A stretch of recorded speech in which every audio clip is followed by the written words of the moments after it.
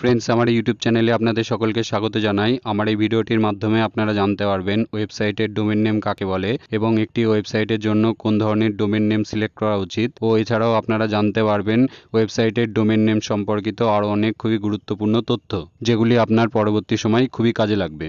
সাথে শুধুমাত্র একটি উদাহরণ হিসাবে স্টেপ বাই স্টেপ প্র্যাকটিক্যালি দেখাবো একটি ওয়েবসাইটের জন্য অনলাইন থেকে কীভাবে একটি ডোমেন নেম পারচেস করতে হয়। তাহলে ভিডিওটি শুরু করা যাক।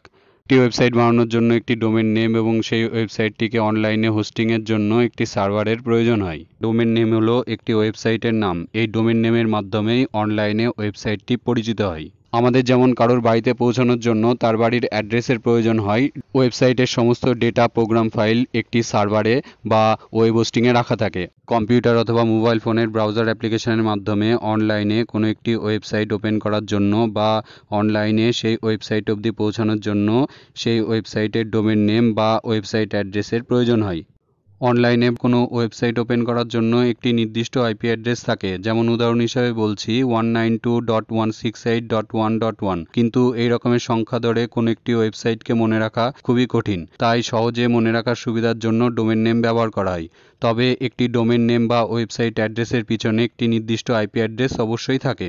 একজন মানুষের পক্ষে মনে রাখার সুবিধা ও কাজের সুবিধার জন্য আইপি অ্যাড্রেস থেকে নামে পরিবর্তন করাকেই ডিএনএস বা ডোমেন নেম সিস্টেম বলা হয়। অবশ্যই জেনে থাকবেন, কোন একটি মোবাইল ফোন বা কম্পিউটারে ব্রাউজারের মাধ্যমে একটি ওয়েবসাইট ওপেন করার সময়। ব্রাউজার অ্যাপ্লিকেশনের অ্যাড্রেস বাড়ি গিয়ে একটি নাম, তারপরে. ডট কম বা. ডট ইন বা. ডট নেট বা অন্য কোনো এক্সটেনশন দিয়ে একটি ওয়েবসাইট ওপেন করা হয়। সেটি হলো সেই ওয়েবসাইটের অনলাইন অ্যাড্রেস বা সেটি হলো সেই ওয়েবসাইটের ডোমেন নেম একটি ওয়েব অ্যাড্রেস বা ইউআরএল এর এই অংশটিকে বলা হয় প্রোটোকল যদি এসএসএল অ্যাক্টিভেট থাকে, তাহলে এই অংশে এইচটিটিপিএস দেখাবে। আর যদি এসএসএল অ্যাক্টিভেট না থাকে, তাহলে এই অংশে শুধুমাত্র এইচটিটিপি দেখাবে। এইচটিটিপিএস এর ফুল ফর্ম হচ্ছে hyper text transfer protocol secure তারপরে একটি ওয়েবসাইট অ্যাড্রেসের এই অংশটি হচ্ছে প্রাইমারি ডোমেন বা ডোমেন নেম এখানে যে এক্সটেনশনটি থাকে সেটি হলো টিএলডি অর্থাৎ টপ লেভেল ডোমেন সেটি হতে পারে ডট কম বা ডট ইন বা ডট নেট বা অন্য কোনো কিছু।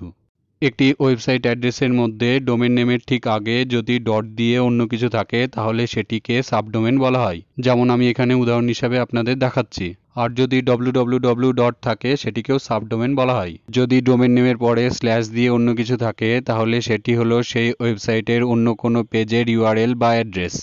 কোনো ব্রাউজার অ্যাপ্লিকেশনে গিয়ে ওয়েবসাইট অ্যাড্রেস দিয়ে কোনো ওয়েবসাইট ওপেন করার সময় এই এইচটিটিপিএস এই অংশটি লেখার কোনো প্রয়োজন পড়ে না। এবারে আসুন জেনে নিই একটি ওয়েবসাইটের জন্য কোন ধরনের ডোমেন নেম সিলেক্ট করা উচিত। আপনি আপনার ওয়েবসাইটটি যে পারপাসে বানাচ্ছেন বা আপনার ওয়েবসাইটের কন্টেন্টের সাবজেক্ট বা টপিক কী, সেটা যেন আপনার ওয়েবসাইট অ্যাড্রেস বা ডোমেন নেম দেখলেই কারোর বুঝতে কোনো অসুবিধা না হয়। এর ফলে আপনার ওয়েবসাইটটিকে মনে রাখা অনেক বেশি সহজ হবে। যেমন শুধুমাত্র আপনাদের বোঝানোর জন্য একটি উদাহরণ দেব। ধরুন, আপনি একটি ওয়েবসাইট বানাতে আছেন সেই ওয়েবসাইটটির মাধ্যমে আপনি অনলাইনে মোবাইল ফোন সেল করতে আছেন আপনি যদি আপনার সেই ওয়েবসাইটটির জন্য এই রকম ধরনের কোনো একটি ডোমেন নেম সিলেক্ট করতে পারেন, যেমন ধরুন online mobile shop dot com বা ডট ইন বা ডট নেট এরকম ধরনের কোনো কিছু একটা, বা ধরুন online mobile store dot com বা ডট ইন বা ডট নেট এরকম ধরনের কোনো কিছু একটা। তাহলে কাজের সঙ্গে নামের সামঞ্জস্য থাকার কারণে একবার আপনার সেই ওয়েবসাইটটির সম্পর্কে জানার পরে সকলের পক্ষেই আপনার সেই ওয়েবসাইটটিকে মনে রাখা সহজ হবে। একটা সময় কোনো একটি ভালো কিওয়ার্ডকে কোনো একটি ওয়েবসাইটের ডোমেন নেমের মধ্যে রাখতে পারলে সেই ওয়েবসাইটটিতে অনলাইনে ভালো সংখ্যায় অর্গানিক ট্রাফিক পাওয়া যেত, কিন্তু বর্তমান সময়ে এই পদ্ধতি কার্যকরী নয়। আপনি যখন অনলাইনে কোনো ডোমেন হোস্টিং সেলিং ওয়েবসাইটের মাধ্যমে আপনার ওয়েবসাইটের জন্য ডোমেন নেম পারচেস করতে যাবেন, তখন সেখানে দেখতে পাবেন অনেক ধরনের এক্সটেনশন নেম যেমন dot com dot net dot in dot website dot online আরও অনেক কিছু।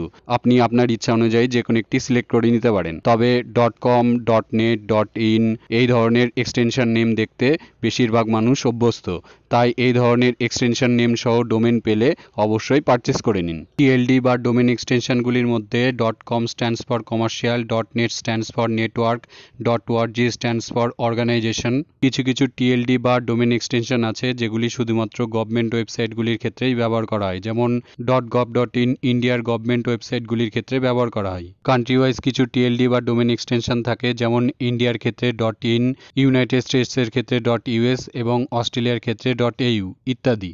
আপনি আপনার ওয়েবসাইটটি যে পারপাসেই বানান না কেন, আপনি আপনার ওয়েবসাইটের জন্য আপনার ইচ্ছা অনুযায়ী. Dot com dot net dot ORG বা অন্য কোনো ধরনের টিএলডি বা ডোমেন এক্সটেনশন সহ ডোমেন আপনি আপনার ওয়েবসাইটের জন্য সিলেক্ট করতেই পারেন। ব্যবহারের দিক থেকে এগুলির মধ্যে বিশেষ কোনো তফাৎ নেই বা এসিওর ক্ষেত্রেও এগুলি খুব একটা বেশি গুরুত্ব রাখে না।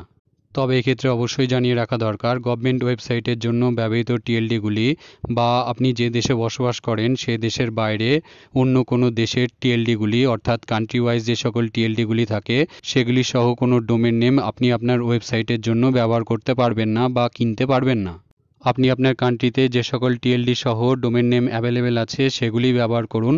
সেদিক থেকে আপনার ওয়েবসাইটটি অনলাইন ওয়ার্ল্ড ওয়াইড ইউজারদের পক্ষে অ্যাক্সেস করতে কোনো ধরনের অসুবিধা হবে না। আপনি একই সাথে একাধিক ডোমেন নেম পারচেস করতে পারেন তাতে কোনো অসুবিধা নেই। আপনি একদম দুটি আলাদা আলাদা ওয়েবসাইট থেকে আপনার ওয়েবসাইটের ডোমেন নেম এবং ওয়েব হোস্টিং পারচেস করে সেই দুটিকে কানেক্ট করে আপনি আপনার ওয়েবসাইট বানাতে পারেন। যেমন আমি এখানে একটি উদাহরণ হিসেবে বলছি, আপনি ধরুন আপনার ওয়েবসাইটের ডোমেন নেম হোস্টগেটার থেকে পারচেস করলেন এবং আপনার ওয়েবসাইটের ওয়েব হোস্টিং আপনি হোস্ট ইনজার থেকে পারচেস করলেন। সেই দুটিকে কানেক্ট করেও আপনি আপনার ওয়েবসাইট বানাতে পারবেন। এতে কোনো অসুবিধা নেই। এমনও অনেক ব্যক্তি আছেন যারা প্রচুর ভালো ভালো ডোমেন পারচেস করে রেখে দেন এবং পরবর্তী সময় সেই ডোমেনগুলিকে ভালো দামে সেল করেন। এটিও বর্তমানে অনলাইনে খুবই ভালো এক ধরনের ব্যবসা। অনলাইনে ডোমেন হোস্টিং পারচেস করার জন্য অনেক ভালো ভালো পপুলার ওয়েবসাইট আছে, যেমন হোস্টিনজার গোড্যাডি হোস্টগেটার নেমচিপ আপনি সবসময় এই ধরনের পপুলার ওয়েবসাইটগুলির মাধ্যমে আপনার ওয়েবসাইটের জন্য ডোমেন হোস্টিং পারচেস করবেন। কারণ এই ধরনের ওয়েবসাইটগুলি আপনাকে ভালো সিকিউরিটি এবং কাস্টমার সাপোর্ট প্রোভাইড করবে। এবারে অনলাইনে ডোমেন কীভাবে পারচেস করতে হয় স্টেপ বাই স্টেপ প্র্যাকটিক্যালি আপনাদের উদাহরণ হিসাবে দেখানোর জন্য আমি হোস্টিংসার থেকে একটি ডোমেন পারচেস করব। অনলাইনে সমস্ত ডোমেন হোস্টিং সেলিং ওয়েবসাইটগুলির মাধ্যমে ডোমেন পারচেস করার পদ্ধতি মোটামুটি একই রকমের এবারে আমি আমার কম্পিউটারের ব্রাউজারে হোস্টিনজার ডট ইন ওয়েবসাইটটি ওপেন করে নিচ্ছি। এই যে দেখতে পাচ্ছেন যে ওয়েবসাইটটি ওপেন হয়ে গেছে। এবার ঠিক এখানে আপনারা দেখতে পাচ্ছেন ডোমেন। এবারে এই ডোমেনের উপরে ক্লিক করার পরে এখানে আপনি দেখতে পাচ্ছেন ডোমেন চেকার। এই ডোমেন চেকারের উপরে ক্লিক করতে হবে। এবারে এখানে আপনি আপনার ওয়েবসাইটের জন্য ঠিক যে ডোমেন নেমটি চাইছেন এখানে লিখে দিন। এখানে ডব্লিউ ডট বা. ডট কম বা ডট ইন এগুলি দেওয়ার প্রয়োজন নেই। বা এখানে লেখাগুলির মাঝে কোনো স্পেস দেওয়ার প্রয়োজন নেই।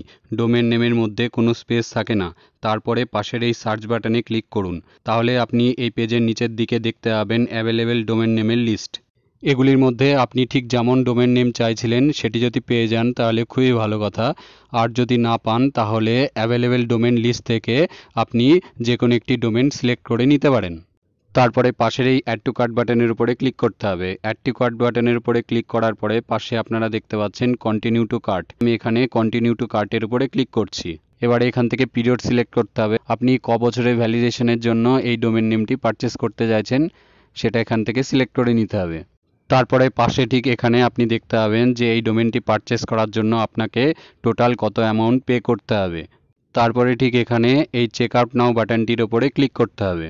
এবারে উপরে ঠিক এখানে যে দুটি বাটন দেখতে পাচ্ছেন, এই দুটি বাটনের মাধ্যমে আপনি আপনার জিমেল অ্যাকাউন্ট বা আপনার ফেসবুক অ্যাকাউন্ট দিয়ে হোস্টিনজার সাইটে আপনি সাইন আপ হয়ে যেতে পারবেন বা আপনার অ্যাকাউন্ট ক্রিয়েট করে নিতে পারবেন। বা নিচের ঠিক এখানে আপনি আপনার নাম, আপনার ইমেল আইডি এবং পাসওয়ার্ড দিয়ে তারপরে নিচের এই বাটনটিতে ক্লিক করে আপনি এই হোস্টিনজার সাইটে সাইন আপ হয়ে যেতে পারেন বা আপনার অ্যাকাউন্ট ক্রিয়েট করে ফেলতে পারেন।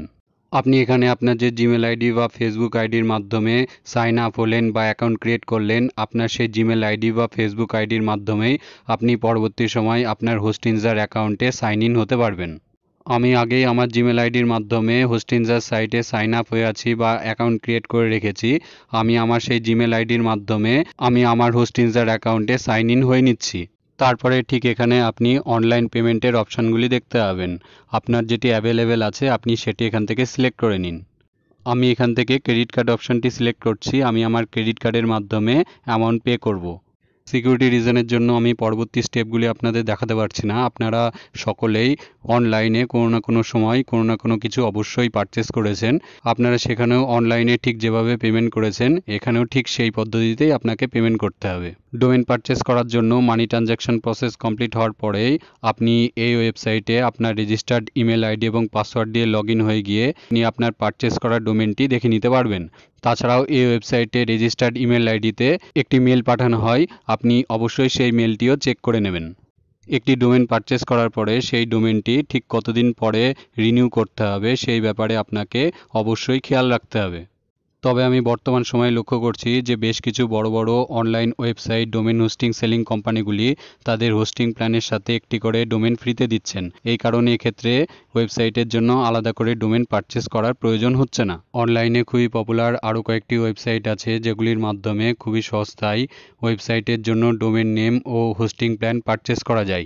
সেরকম কয়েকটি ওয়েবসাইটের নাম আমি আমার এই ভিডিওটির ডেসক্রিপশন বক্সে দিয়ে রেখেছি, সেখান থেকে দেখে নিন। এবং আপনি যদি একদম বিনা খরচে ওয়েবসাইট কীভাবে বানাতে হয় শিখতে চান, তাহলে আমার এই ভিডিওটির ঠিক নিচে লাল রঙের সাবস্ক্রাইব বাটনের উপরে ক্লিক করে আমার এই ইউটিউব চ্যানেলটি সাবস্ক্রাইব করতে ভুলবেন না এবং সাবস্ক্রাইব বাটনটির ঠিক পাশের বেল আইকনটিতে অবশ্যই ক্লিক করুন। আশা করি ডোমেন নেম রিলেটেড আমার এই টিউটোরিয়াল ভিডিওটি আপনাদের সকলের ভালো লেগেছে। ভিডিওটি দেখার জন্য ধন্যবাদ।